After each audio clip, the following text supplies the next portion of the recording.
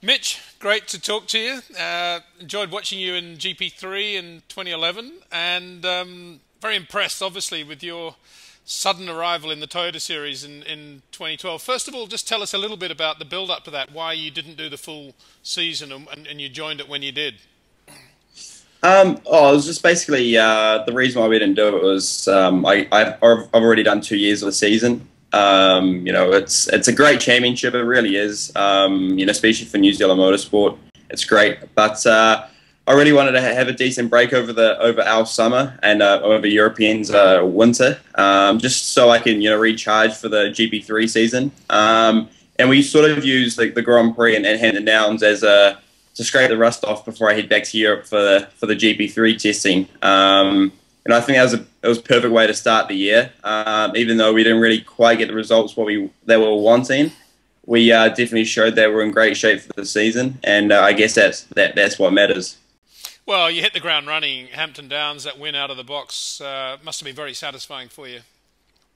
It was. Um, you know, I've been following the championship when it started this year, and it seemed bloody competitive to be honest. And uh, I was I was a little bit worried heading into. The, I'll, admit that. Um, but it was a huge sign of relief when I put it on pole and, and won the first race. Um, I think everyone's just up their game, you know, not just not just the drivers but the teams as well. Um, and you know, we did the same in, at, Manfield. I think we raised the bar even higher, and I'm just ready to, you know. Uh, to, to, to, to, really take on the um, the GP3 championship, you know, it's it's it's shaping up to be a great year, and uh, I'm going to use all my experience from last year to this year, and uh, I really want to do a good job. Well, before we get on to that, let's just talk a little bit more about New Zealand. Uh, you mentioned how competitive it was. Um, I think you're quite good buddies with Nick Cassidy, right? Who's, who's now uh, won the championship, and he inherited that win in the New Zealand Grand Prix from you. Uh, tell us a little bit about Nick and, and his background. Yeah, Nick, um, myself and Nick raced against each other oh, ever since we started in go karts. Um, we've always been huge rivals, which I guess um, is good uh, off the track, but on the track it gets uh, gets pretty pretty uh, aggressive, and it's uh, it's it's a great little relationship we've got going on.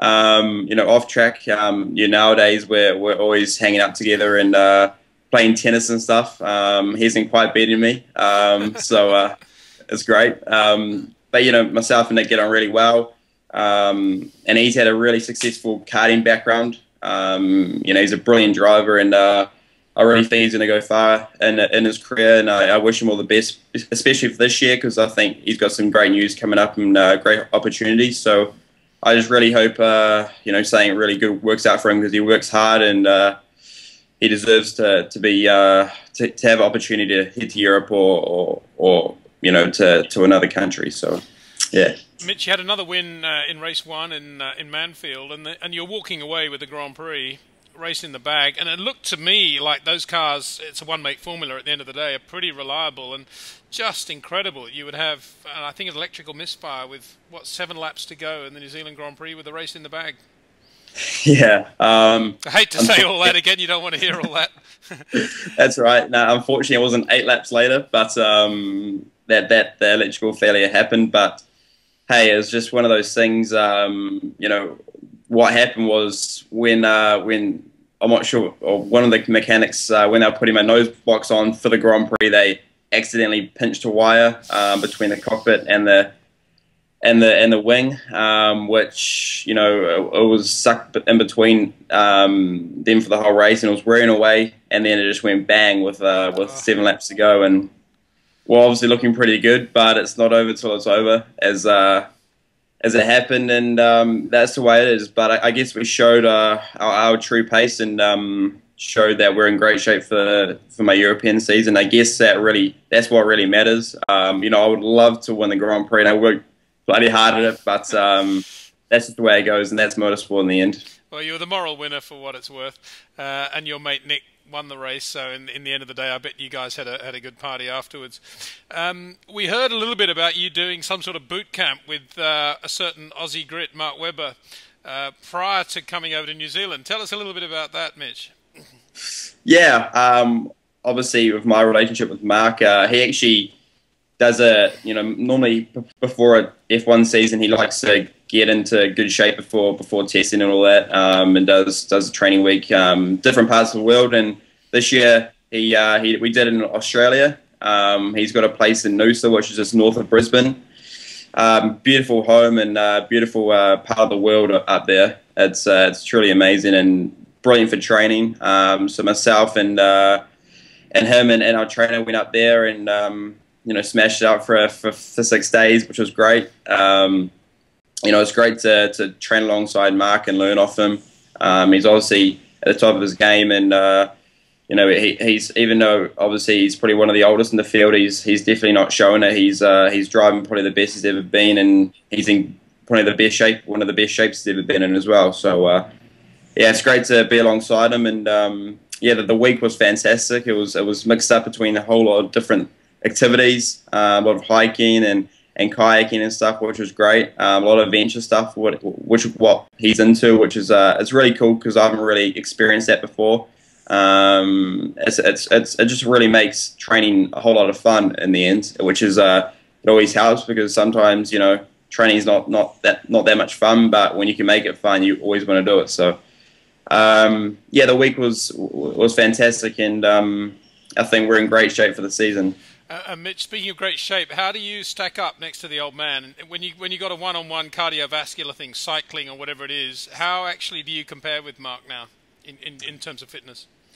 Um, it's hard to say, really. Um, I'm slowly catching up to him. Um, you know, I'm trying to pick his brains a bit with, with training and all that, and um, you know, I'm slowly I'm slowly getting there. But uh, yeah, it's just it's been great just to obviously cycle with them and all that, just to experience what what you know what level I need to be at before you know if I get the opportunity to to, to, to race in a higher class. So um, now I'm gonna I'm gonna be uh, matching him soon, and um, I'm working really hard. You know when I'm not with them to to make sure when I'm with when I'm with them that I'm not not falling behind or anything. So um, yeah.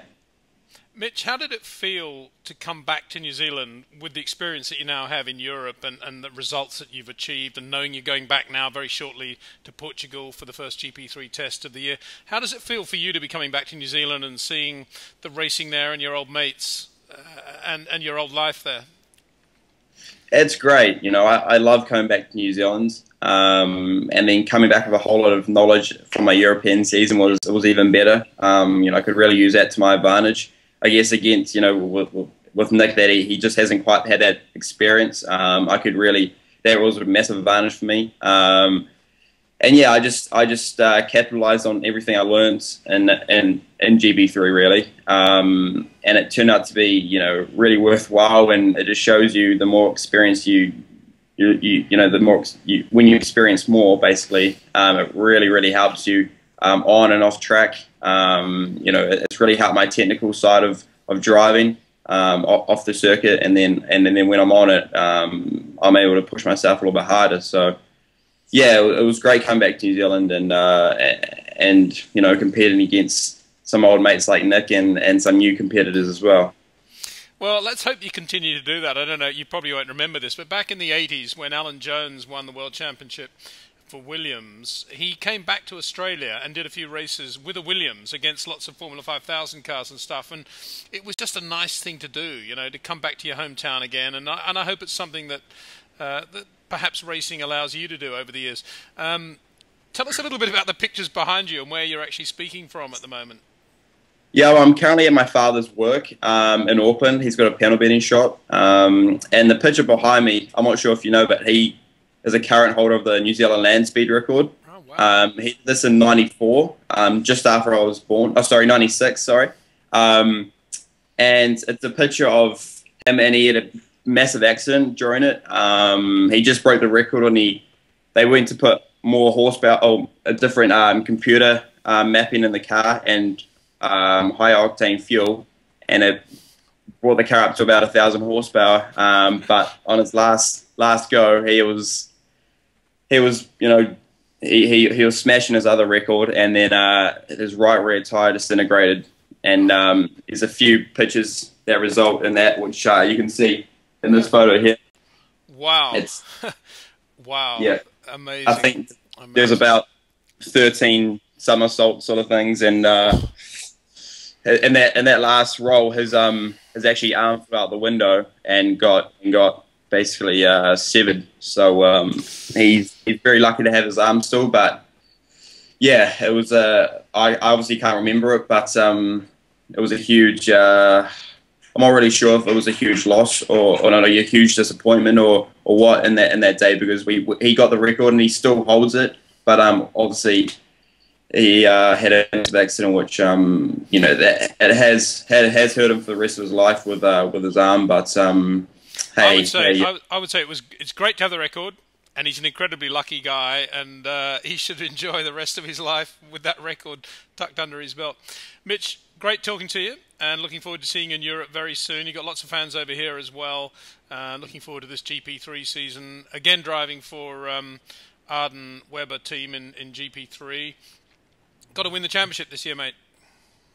that's the plan. Um, I'm working incredibly hard back here. You know, prepare myself to my maximum before I head overseas. And um, yeah, I'm, I'm ready to take it on. And I think I'm going to come back even stronger compared to last year. You know, I've, I've, I've learned all the circuits, and that was the major barrier from last year. I um, was learning the circuits, and I know how it all works over there now. And uh, I'm, um, yeah, I'm, I'm hugely motivated at the moment to, to get that championship. Good stuff. Well, condolences again on not winning the New Zealand Grand Prix, but you did everything you could and uh, everything but win it. And uh, very best of luck with 2012. We'll be following you very closely and look forward to talking to you again when uh, the European season's underway. Yeah, cheers, Peter. Thank you. Thanks, Mitch.